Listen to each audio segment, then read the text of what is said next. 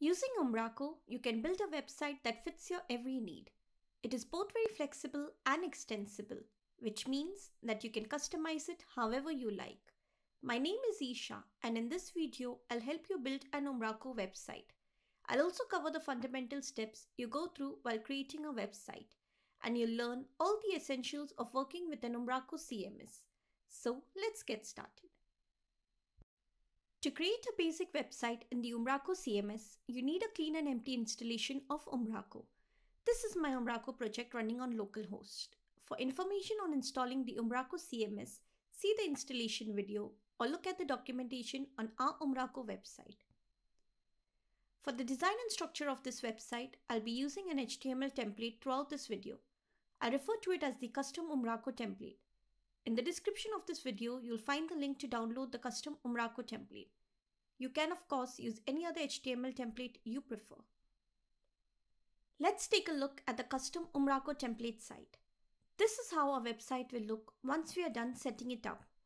It is going to contain a navigation pane, a banner, content with images, and a footer.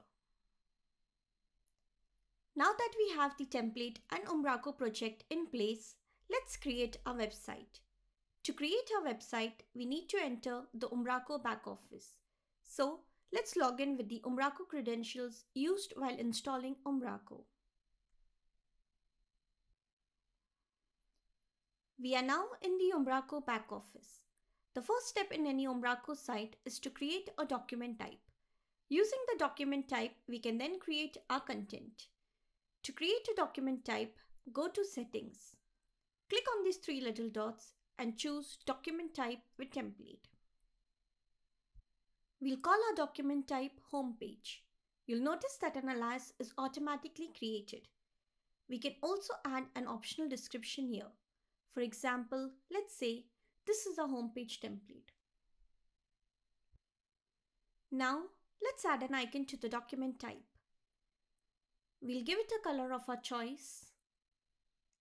And since this is a homepage template, let's select home. Next, we need to add properties and this needs to go into a group. So we'll create the first group here and call it content. We'll now add our first property. Let's add a text area which will allow us to add basic text to our website. First off, let's give our property a name. We'll call it page title. An alias for it is automatically generated below. We can add an optional description to the property as well. Let's add an editor. We are now presented with a long list of property editors we can choose from. We'll select a text string and submit the property.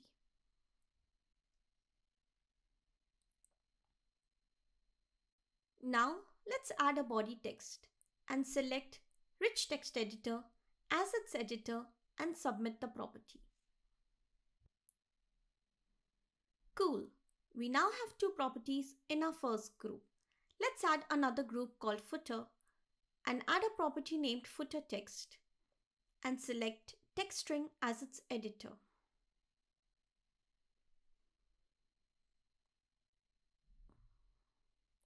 Okay, now let's save our work before we proceed. Before we can use this document type to create content, we'll have to allow content of this document type to be created at the root of the website. This is done from the Permissions tab up here. Click on Permissions and enable Allow as root and save it. Now that this is done, let's head to the content section. To add a content node, click on the three dots next to content and select home page. This is the first page you'll see on the website.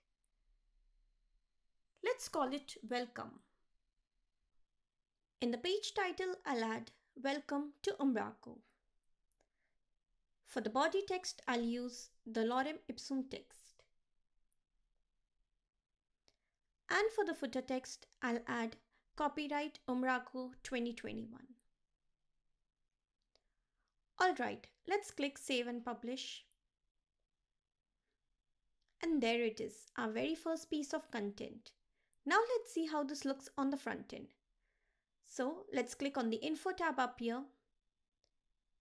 Here you'll find a direct link to the published content. Let's click on it. And now we see a blank screen.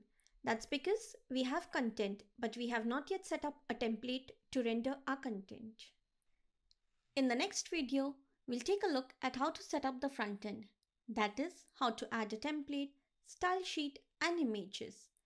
See you in the next video.